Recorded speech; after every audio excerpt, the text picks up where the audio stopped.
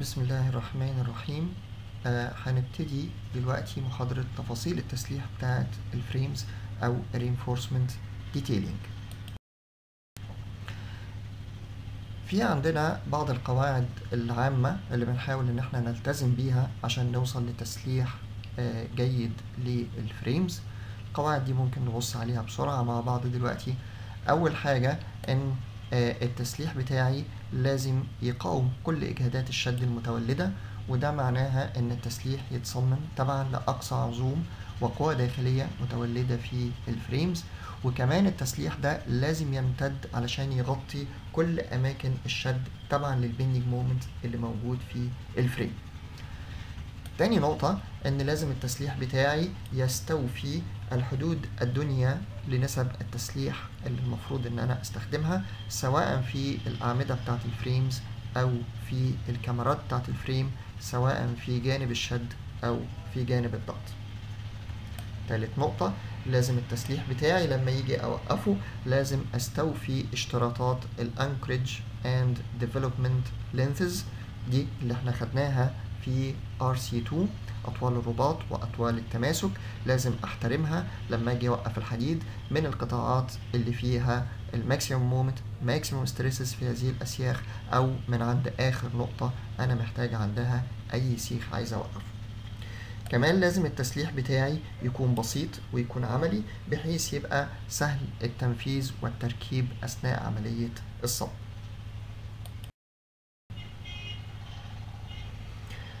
هنبتدي دلوقتي نتكلم على الوصلات الأساسية اللي ممكن تكون موجودة عندنا في ال frames ونشوف التسليح بتاعها بيمشي إزاي.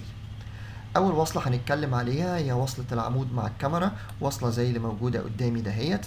أي frame تقريبا لن يخلو من عمود متصل مع كمرة. شكل ال moment في الوصلة دي بيكون زي ما هو موجود قدامي كده. عندي negative moment بيديني شد للخارج سواء في الكمرة أو في العمود. لو جيت أبص هنا في التسليح بيتم إزاي فهلاقي إن التسليح الرئيسي عندي اللي شايل ال moment اللي هو التسليح الخارجي ده اللي ماشي من العمود للكمرة. القاعدة الأساسية بتاعتنا في الشغل إن الحديد بتاع العمود هو اللي يدخل في الكمرة مش حديد الكمرة هو اللي يدخل في العمود. علشان ده بيمكنني وأنا بصب العمود. كده كده حديده لازم هحطه يمتد ويدخل في الكاميرا. إنما لو أخدت حديد الكاميرا ودخلته في العمود معناها إن وأنا بصب العمود لازم حديد الكاميرا يكون موجود في مكانه من الأول بما يحتاج شدات خاصة علشان أسنده عليه. عشان نبسط الأمور في التنفيذ القاعدة بتاعتنا حديد الكاميرا هو حديد العمود هو اللي يدخل في الكاميرا. تعالوا نشوف الحديد الرئيسي بتاعي أهو. تبعا لشكل ال bending moment اللي موجود ال moment ال maximum بيكون في العمود فوق بيقل ال moment دهوت وأنا نازل تحت فالشيء الطبيعي إن الحديد اللي أنا محتاجه تحت في العمود يكون قليل لما أطلع لفوق بيبقى الحديد أكتر شوية.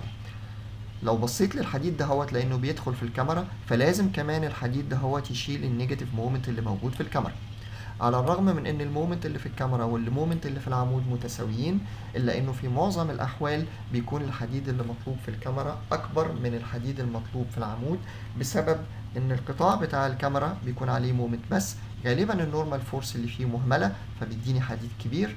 بينما الحديد بتاع العمود بيكون فيه normal force بتؤخذ في الاعتبار في معظم الأحيان سواء كان القطاع large eccentricity أو small eccentricity فال normal force بتقلل لي شوية الحديد المطلوب في جانب الشد حتى ولو كان قيمة العزم هي نفس العزم اللي موجود في الكاميرا وبالتالي باخد الحديد الكبير اللي فيهم هو ده اللي بمشيه من العمود وبدخله في الكاميرا منين ما أقدر استغنى عن جزء من الحديد دهوت خاصة لو الحديد اللي عندي كبير. مش لازم آخد الحديد بالكامل على كامل طول العمود لا أنا ممكن الجزء اللي فيه مومنت كبير فوق هو ده اللي يبقى فيه الحديد الكبير. كل ما بنزل لتحت في العمود المومنت بيقل هوصل لقطاع ما أقدر استغنى عن جزء من الحديد وأوقفه واستمر بباقي الحديد بتاعي لحد العمود تحت. نفس المنطق موجود في الكمرة. ال maximum moment موجودة عند اتصال الكمرة بالعمود. هنا أكبر كمية تسليح مطلوبة. لو الحديد اللي عندي كبير موجود على صفين مثلا كل ما ال moment بيقل زي ما أنا شايف قدامي هنا شكل ال moment كل ما ال moment بيقل ممكن أقدر أستغنى عن جزء من الحديد بتاعي أوقف صف مثلا من الصفين اللي عندي في الأول وأسيب الصف التاني اللي موجود عندي يستمر لحد ما يوصل لل zero moment ويغطي لي كافة أماكن الشد اللي فاضلة في الكمرة في ال negative moment ويقف بعد ال zero moment سواء الحديد اللي هيقف هنا أو الحديد اللي هيقف هنا أو حتى اللي هيقف في العمود لازم يستوفي مسافات الرباط والتماسك المطلوبة زي ما درسناها قبل كده. بالنسبة لحديد العمود الجانب الداخلي في العمود بيكون فيه حديد موجود. حتى لو كان القطاع ده small eccentricity أو large eccentricity عندي minimum reinforcement لازم يتحط في الجنب دهوت الحديد دهوت ما هواش شايل شد وبالتالي مش محتاج اطوال رباط كبيرة. يكفي إن أنا أطلعه في العمود ويقف بالمنظر دهوت بالنسبة لحديد الكاميرا الحديد السفلي الرئيسي اللي شايل ال positive moment اللي موجود في الكمرة اللي فوق يستمر لحد ما يدخل في العمود في الآخر. وبالنسبة للحديد العلوي area steel dash بيبقى ماشي فوق في الجزء ده هوت ويجي يقف هنا هوت على مسافة رباط ما بين الحديدين دول اللي هي اللي إحنا عارفينها قبل كده ال 250 ملي أو 12 phi أيهما أكبر.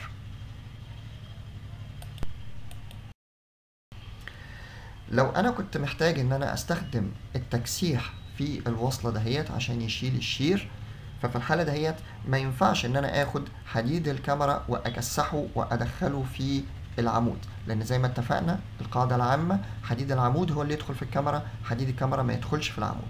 لو أنا كسحت الحديد من هنا ومشيته فوق مش هينفع أوقفه هنا هوت في منطقة ال maximum negative moment. هضطر الف وأدخله في العمود عشان أديله طول الرباط بتاعه ودي مش حاجة هتكون مناسبة لعملية التنفيذ. إنما لو أنا محتاج تكسيح يبقى آخد حديد الكمرة أوصله لحد الآخر سفلي زي ما هو ما كسحوش فوق وآخد حديد العمود اللي طالع عندي جزء منه أقدر أستغنى عنه بعد ما يستوفي ال negative moment ويغطي ال negative moment بتاعي أقدر أكسحه للأسفل بالشكل ده وياخد طول الرباط بتاعه وطول التماسك بتاعه ويقف. ممكن الصف التاني اللي عندي برضو اقسمه برضو جزء يتكسح كده وجزء على الأقل تلت الحديد العلوي بتاعي لازم يغطي zero moment ويفضل ماشي فوق ويقف بالمنظر اللي عندي دوت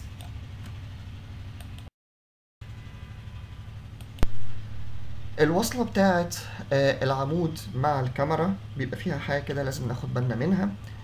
ال frames الكبيرة اللي عندي بيبقى الحديد اللي موجود عندي وبيلف في الحتة دهيت شايل قوة شد كبيرة في قوة شد هنا هوت نازلة لتحت في قوة شد هنا في الاتجاه دهوت محصلة قوة الشد اللي هنا والشد اللي هنا هيبقى في قوة بتؤثر على الخرسانة تعمل ضغط على الخرسانة في هذا الاتجاه.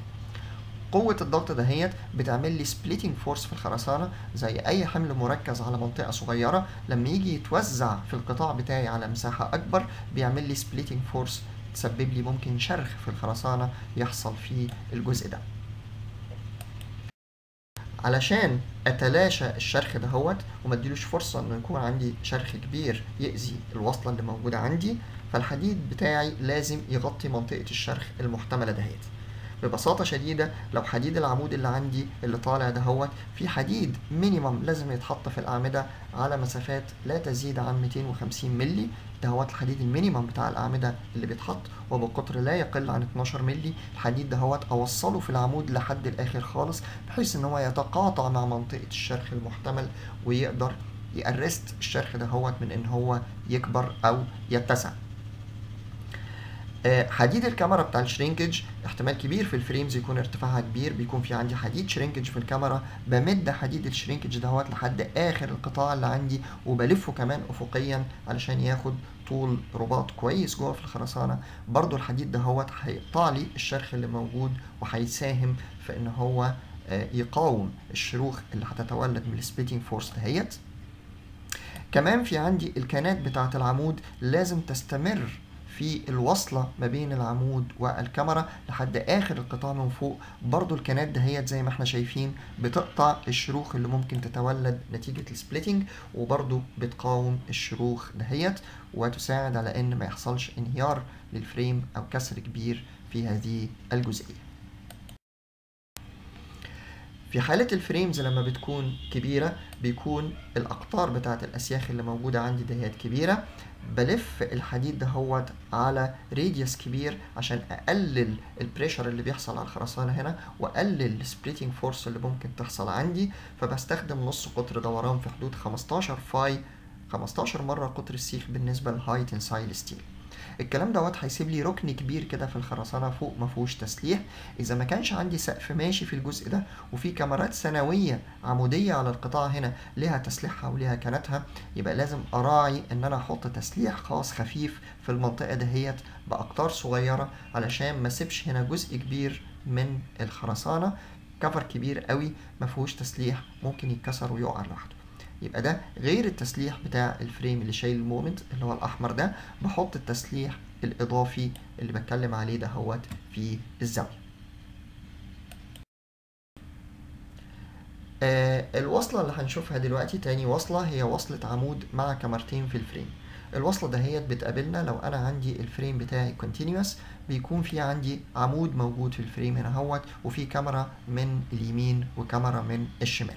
ده شكل ال moment نتيجة الأحمال اللي موجودة على ال frame ك ultimate load بس خد بالك إن العمود هنا هوت من التماثل لو عندي ultimate load في البحر اليمين والشمال هيكون عليه zero moment بالشكل ده. بس لو أنا أخدت ال cases of loading عندي في الاعتبار هتلاقي لو البحر اللي على الشمال عليه ultimate load واليمين minimum load هتلاقي متولد على العمود بتاع ال frame moment بيديني شد على الجنب اليمين. والعكس لو كان البحر اليمين هو اللي متحمل بال ultimate load والبحر الشمال بال minimum load وبالتالي العمود بتاعي بتاع ال frame معرض ل moment شد. ممكن يجي لي من اليمين وممكن الشد بتاعه يجي لي من الشمال. لما أجي أحط التسليح بتاع الوصلة دي هاخد الحديد بتاع العمود اللي هو متصمم عند القطاع ده اللي فيه ال maximum moment. تبعا لل maximum moment اللي جاي من ال cases of loading بتاعت ال frame حسبت الحديد اليمين وحسبت الحديد الشمال. أحط الحديد اللي في اليمين ويطلع لحد ما يوصل للكمرة ويلف ويخش فيها علشان يساعد مع ال negative moment بتاع الكمرة. نفس الكلام الحديد اللي في الجنب الشمال بتاع العمود ده شايل شد في بعض ال cases of loading اللي عندي هيوصل لحد فوق خالص ويلف ويدخل في الكمرة يساعد في إنه يقاوم ال moment ال negative بتاع الكمرة.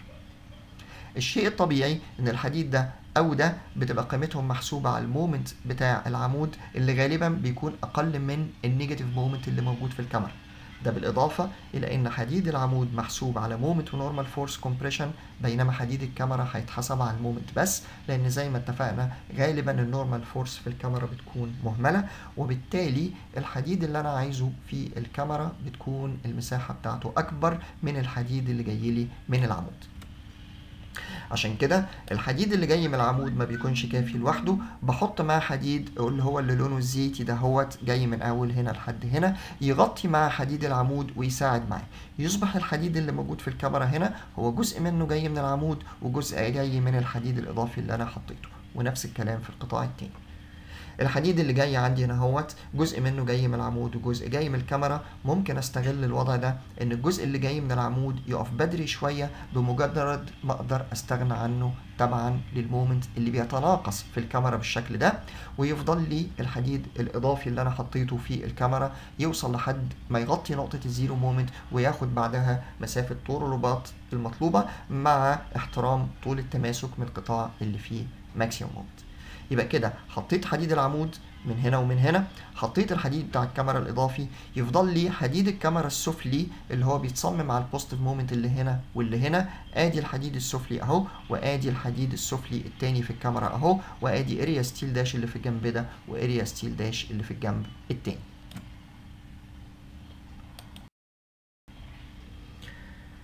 وصلت برضو العمود مع الكمرتين لو كان عندي ال frame مش متماثل وكان في عندي بحر كبير في الجنب دهوت وبحر صغير في الجنب التاني.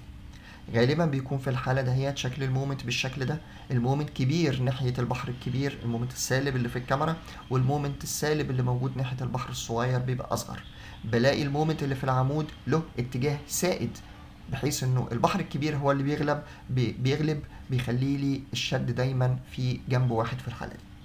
في الحالة دهيت آدي حديد العمود في الجنب الأساسي اللي فيه الشد والحديد دهوت هيوصل للكمرة ويخش فيها يساعد مع حديد الكمرة في العزم السالب اللي هنا. الجنب الآخر من العمود مفيش فيه شد هيتولد من ال bending moment الأصلي وبالتالي الحديد بتاعه هيطلع ويقف بالشكل ده. أصبح كده حديد العمود اتحط دخل لي من العمود للكمرة في جنب واحد بالمنظر ده. بعد كده هلاقي ال negative moment اللي موجود هنا محتاج حديد أكتر من اللي جاي من العمود وهلاقي ال negative اللي موجود هنا محتاج تسليح ملوش تسليح جاي من الكمرة يبقى هحسب الحديد اللي موجود فوق دهوت بحيث إن هو لوحده يقدر يشيل ال negative اللي موجود ال negative moment اللي موجود هنا وهو مع الحديد اللي جاي من العمود يقدر يشيل ال negative moment الكبير اللي موجود في الناحية الثانية يبقى ده الحديد الإضافي اللي بحطه بحيث إنه يغطي لي كل أماكن الشد ويوفي لي كل مساحات التسليح اللي أنا محتاجها سواء التوتال اللي موجود في الجنب الشمال أو هو لوحده في الجنب اليمين. وبرضه لازال حديد الكاميرا السفلي اللي هنا واللي هنا والعلوي اللي هنا واللي هنا هما بنفس الأسلوب اللي قلناه قبل كده.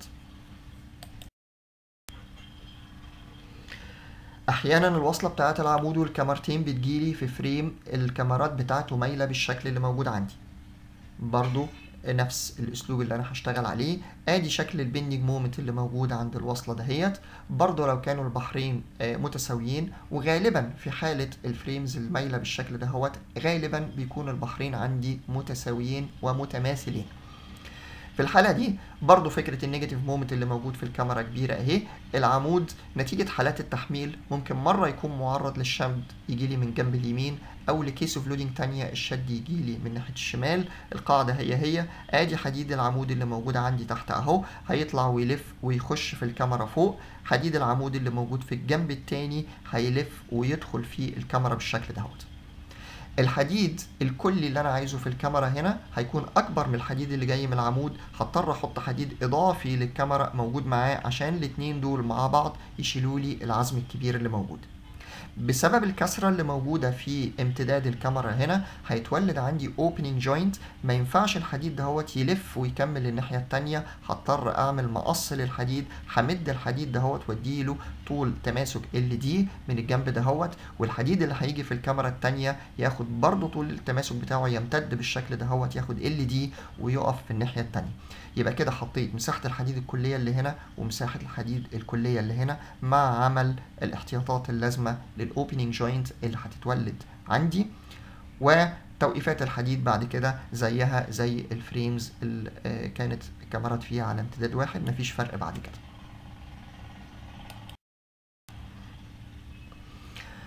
بالنسبة للركيزة البندولية أحيانا بيكون عندي لاعتبارات إن أنا عايز أخلي المنشأ بتاعي محدد استاتيكيا أو لأي اعتبارات أخرى. أحيانا بستخدم ركيزة بندولية في ال frame. الركيزة البندولية اللي بنرسمها في structure بمفاصل عند الأطراف بالشكل دهوت هتخلي لي شكل ال moment بالمنظر ده ومفيش أي moment هيتولد عند الركيزة البندولية دهيت. وبالتالي الحديد بتاعها القطاع بتاع البندول دهوت بيبقى عليه compression بس مفيش عليه أي moment آدي الحديد بتاعه في الجنب دهوت هيقف هنا والحديد ده يقف هنا والكمرة بتاعت ال frame تعامل كأنها كمرة مستمرة عادية جدا. آدي الحديد العلوي اللي هيشيل ال negative moment بيتحط لوحده ملهوش أي علاقة بحديد آه الأعمدة. وده طبعا الحديد السفلي يمين وشمال و area steel dash بتاعت الكمرات يمين وشمال. الوصلة اللي معانا دلوقتي هي وصلة عمودين مع آه كمرة. ودي بتقابلني في ال multi-story frames زي اللي قدامي دهيت الوصلة اهي فيها عمود سفلي وعمود علوي وكمرة وشكل ال moment بتاعها زي ما إحنا شايفين قدامنا اهو. لما أجي للتسليح بتاع العمود هلاقي العمود السفلي هنا هوت في moment غالب في آه الخارج بالشكل ده هوت هحط له الحديد بتاعه هنا. آه عند ال moment الكبير ممكن أحتاج حديد زيادة شوية فأدي التسليح اللي جاي لي من تحت قد يكون ال minimum reinforcement وبعدين أحط معاه الحديد الإضافي اللي أنا عايزه عشان يشيل المومنت الكبير اللي عند وصلة العمود مع الكاميرا. الحديد الزيادة ده هوت أنا مش محتاجه فوق بعد كده لأن المومنت هيقلب الناحية التانية وأنا مش عايزه فباخده من العمود بلف وأدخله في الكاميرا منها إن أنا نهيت العمود ودخلته في الكاميرا نهيت التسليح ودخلته في الكاميرا لأني مش محتاجه فوق وفي نفس الوقت هستغل الحديد ده في إنه يشيل ال negative moment اللي هو موجود في الكمرة فوق ده. يبقى يتحسب على إنه يشيل ال moment ده. وكمان الحديد ده مع الحديد ده يشيل ال moment المطلوب للعمود. طبعا غالبا بيكون ال moment السالب اللي موجود هنا هو اللي محتاج الحديد الأكبر. باخد الحديد ده هوت من العمود من هنا ويوصل لحد ما يغطي ال zero moment بتاع الكمرة اللي هي النقطة دي ويقف بالشكل ده. برضه لو كان الحديد كتير قوي ممكن أوقفه على مرحلتين. مرحلة تقف هنا مثلا ومرحلة توصل لل zero moment وتقف بعد كده. يبقى ادي حديد ال moment العمود اللي في الجنب ده. لما أطلع فوق هنا هو بداية من الدور الثاني في العمود اللي فوق هلاقي إن الشد أصبح في داخل ال frame وبالتالي مفيش شد هنا. ده بيديني فرصة إن أنا أعمل الوصلة بتاعة الحديد في هذه النقطة بعد مستوى الكمرة هنا مباشرة. هنا مفيش tension في الحديد دهوت وبالتالي أقدر أعمل الوصلة بتاعتي والاشاير بتاعته هنا. بعد كده الحديد اللي فوق هو اللي جاي لي من فوق من اللي شايل ال moment السالب اللي موجود الكبير اللي فوق اللي هو الشد بره ده. ده الحديد بتاعه هيجي ويتوصل مع الحديد اللي تحت في المكان ده.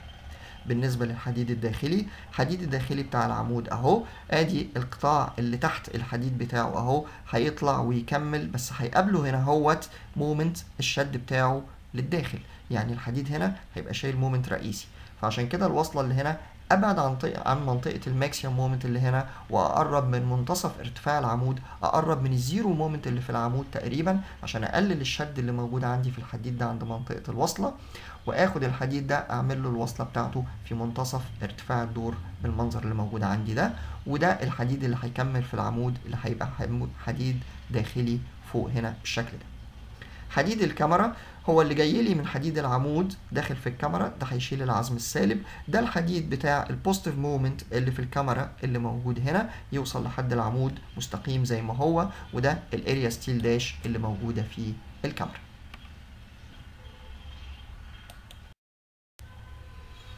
الوصلة اللي بعد كده هي وصلة عمودين مع كمرتين وده برضه هيقابلني في ال multi-story frame بس في العمود الداخلي. في عندي عمود موجود تحت عمود موجود فوق كمرة موجودة في الشمال وكمرة موجودة في اليمين وآدي شكل ال moment اللي موجود عند الوصلة دي. في الحالة دهيت باخد الحديد بتاع العمود السفلي اللي موجود عندي أدخله في العمود اللي فوق والعمود هنا في الجنب التاني نفس الكلام وأعمل الوصلة بتاعتي في منتصف ارتفاع العمود لأن في احتمال كبير في حالة لما يكون في عندي العمود دهوت عمود داخلي في ال frame إن يكون اتجاه ال moment بتاعه بيتقلب. على إن ال moment ده احتمال كبير بيكون جاي لي من ال horizontal forces من ال wind مثلا. وبالتالي أنا ما بعملش الوصلة بتاعتي زي ال case اللي فاتت اللي كان فيها اتجاه غالب لل moment لا أنا بعمل الوصلة بتاعتي في منتصف الارتفاع عشان أبعد عن ال moment اللي ممكن يجي لي في الجنب ده أو في الجنب ده تبعا للشكل ده. ال moment ده اللي موجود في العمود ممكن يتقلب الاتجاه بتاعه.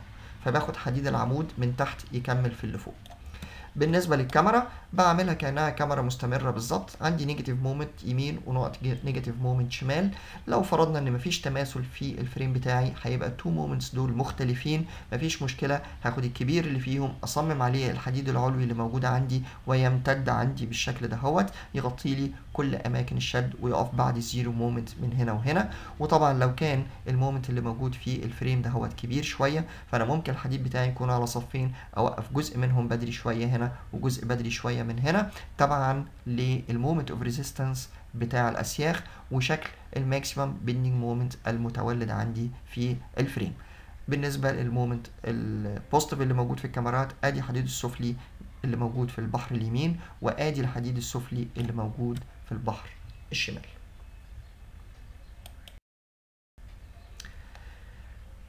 الوصلة اللي موجودة عندنا دلوقتي هي وصلة 2 beams عندي كمرتين مع بعض لما يكون ال frame بتاعي في الكسرة اللي موجودة دهيت في السقف بتاعه بيبقى فيه هنا وصلة في حديد الكمرة اللي فوق. الوصلة دي بمنتهى البساطة كلها فيها positive moment زي ما أنا شايف كده. هتعمل لي هنا opening joint ما ينفعش الحديد بتاعي يمشي ويلف كده أهوت. لازم أمد الحديد عند الوصلة دهيت مسافة Ld ومن الناحية التانية وأعمل مقص بالشكل اللي موجود قدامي دهوت بالنسبة للحديد العلوي اللي هو فيه area steel dash هو ممتد عند الوصلة مفيش فيه أي مشكلة.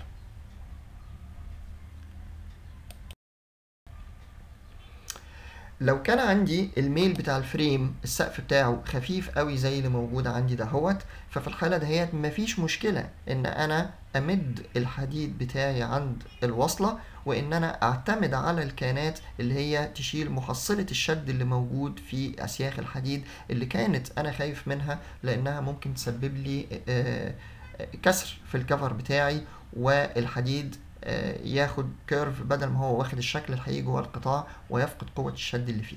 طبعا الوضع ده خطير جدا وممكن يسبب انهيار لل frame فعلشان كده لو كانت الزاوية صغيرة أنا ممكن أصمم الكنات اللي موجودة في هذه المنطقة إن هي تشيل محصلة قوة الشد اليمين والشمال اللي هي قوة للخارج دهيت بدل ما أسيبها تنطر الكفر الخرساني أنا هعتمد على الكنات دهيت إن هي تشيلها بس هذا الكلام لا يستخدم أو هذا الوضع من التسليح لا يستخدم إلا إذا كانت الزاوية ثيتا زاوية صغيرة قوي بحيث إن أنا أقدر أشيل قوة محصلة الشد بتاعتي ببساطة عن طريق الكنات. آه،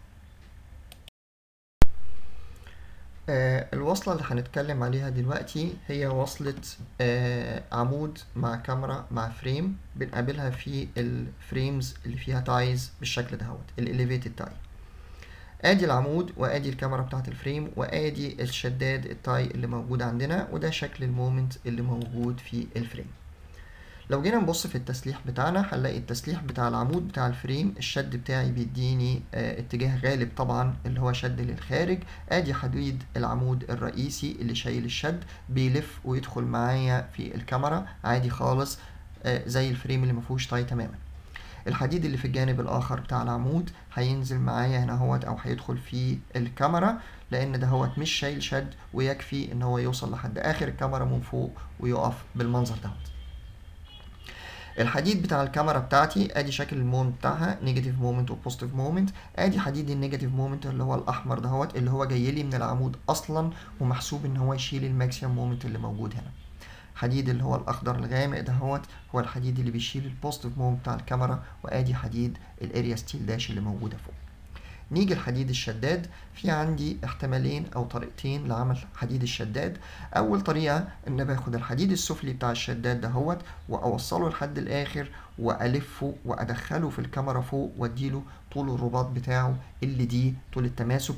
وياخد حقه كويس قوي لأن الشداد دهوت لو الحديد بتاعه ما خدش الطول الكافي بتاعه هيحصل إن bond failure وهينهار الشداد دهوت ويبقى زي قلته وفي الحالة دي ال frame كله ممكن إن هو ينهار. الحديد العلوي عندي اللي موجود في الشداد هو شايل شد برضو عايز أدخله في ال frame بمده لحد الآخر وأخليه يعدي ال center line بتاع ال rafter أو الكاميرا اللي موجودة فوق ويلف برضه ويطلع لفوق وياخد طول التماسك الكافي بتاعه ويقف فوق هنا هو بالمنظر ده. ده طريقة لعمل حديد الشداد. لازم تراعي حاجة مهمة جدا في رسم ال frame وفي تنفيذه إن ال center line بتاع الشداد بتاعي مع ال center line بتاع العمود مع ال center line بتاع ال rafter اللي فوق لازم كلهم يتقابلوا في نقطة واحدة عشان ما يتكونش عندك أي moment إضافي في الوصلة دهيت بسبب عدم تلاقي ال center lines بتاعة ال frame والعمود والشداد مع بعض. طريقة تانية لعمل الوصلة دهيت بالنسبة لحديد العمود أو حديد الكاميرا هو هو نفس الحديد بنفس الترتيب الفرق اللي عندي هو حديد الشداد. حديد الشداد في الحالة دهيت حديد السفلي بيتاخد ويوصل لحد الآخر يعدي ال center line بتاع الوصلة ويلف وياخد طول التماسك الكافي بتاعه زي الحالة الأولانية بالظبط. بس الحديد العلوي بتاعه هو اللي ممكن بيفرق في الحالة دهيت. الحديد العلوي بيمشي عندي لحد الآخر يعدي برضو نقطة التقابل بتاعة ال center lines مع بعض ويلف لتحت ويرجع من هنا ويقف في الجنب ده برضو بعد ما ياخد طول التماسك الكافي بتاعه.